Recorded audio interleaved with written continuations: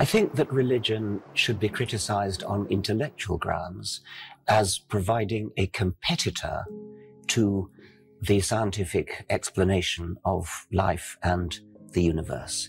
It's educationally pernicious because it gives the idea that you can uh, evade the responsibility to understand things by postulating some sort of easy explanation. Oh, God did it. I think that's educationally pernicious. And as a scientist and, and as an educator, I'm most interested in that.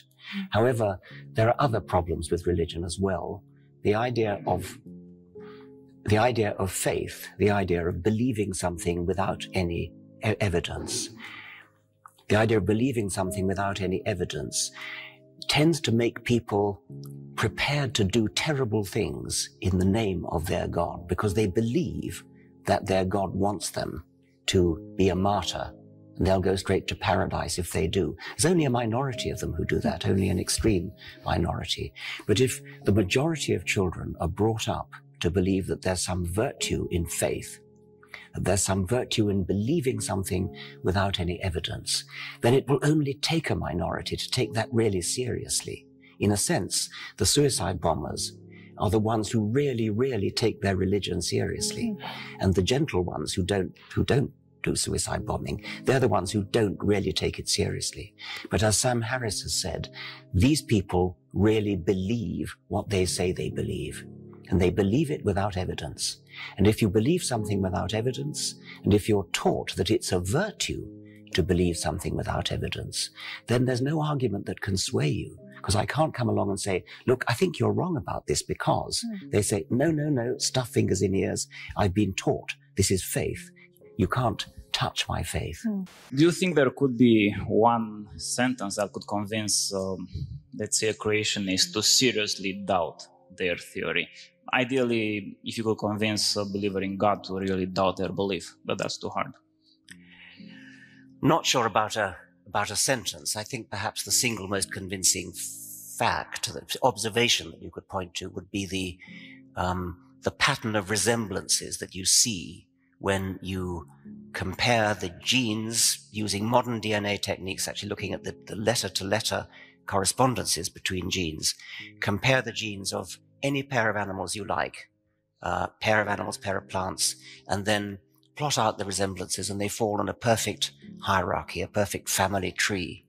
And the only alternative to it being a family tree is that the intelligent designer deliberately set out to deceive us in the most underhand and devious manner. Um, more, moreover, the same thing works with, with every gene you do separately, and even pseudogenes that don't do anything but are vestigial relics of genes that once that once did something. I find it extremely hard to imagine how any creationist who actually bothered to listen to that could possibly doubt the fact of evolution. But they don't listen. I mean, there's, there's, your, your question is a, is a perfectly good question, but it's not, it's not really relevant because what they do is simply stick their fingers in their ear and say la, la, la. They know what's true because it's in the holy book. And that, that even, I mean, the most extreme case is the geologist Kurt Wise, who has a PhD in geology from Harvard and said if all the evidence in the universe pointed towards an old Earth, I would be the first to admit it, but I would still be a young Earth creationist because that is what Holy Scripture teaches me. You cannot argue with, with, with, a, with, a, with a mind like that. A mind like that, it seems to me, is, well, a disgrace to the human species. My attitude to science is that we are fundamentally trying to understand how things work. Science is very difficult. It's very difficult to understand how things work. The hard problem of consciousness has been mentioned, the problem of the origin of the universe, the problem of the origin of life, the problem of how life has this uncanny appearance of, of being designed, the size of the universe, the scale of the universe, uh, how embryology works. These are all deeply difficult questions. They require hard scientific work. And in all cases, I think I'm right in saying that scientific work consists of explaining complicated things in terms of the interactions of their parts or of simpler things. So we always try to explain complex things in terms of simpler things. We do not resort to magical language. We do not snow our audience with highfalutin sounding words that don't actually mean anything. We use words that actually have meaning.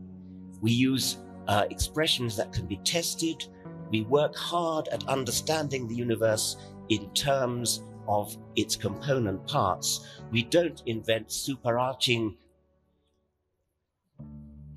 entities which have no explanation in themselves. We don't invoke ideas like the universe has consciousness, the universe has awareness, atoms have awareness. If we have a difficult problem like awareness, we explain it in terms of the interactions between small parts working together in ways that scientists understand. When we're in school, um, we learn how to critically argue. So, for example, if we're told, uh, read this book and give your opinion, we have to support that with evidence. Now, most people, be them atheists or theists, will take that skill with them later into life. But how is it that, in your opinion, when it comes to their personal beliefs with regard to religion, they're able to put this down and just accept it on face value?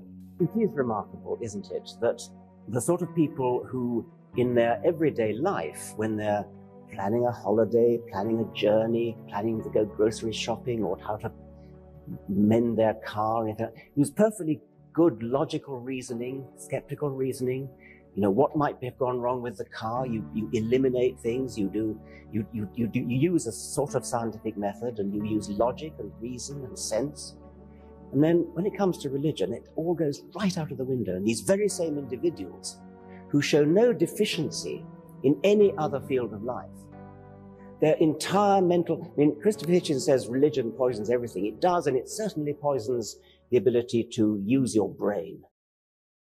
If you have some kind of fundamental belief in something, some ideal, some political ideal, it might be Marxism, it might be National Socialism, it might be patriotism, it might be the honor of the emperor. There, there are other things than religion, but religion is a remarkably powerful one because religion actually teaches that you don't have to justify your beliefs.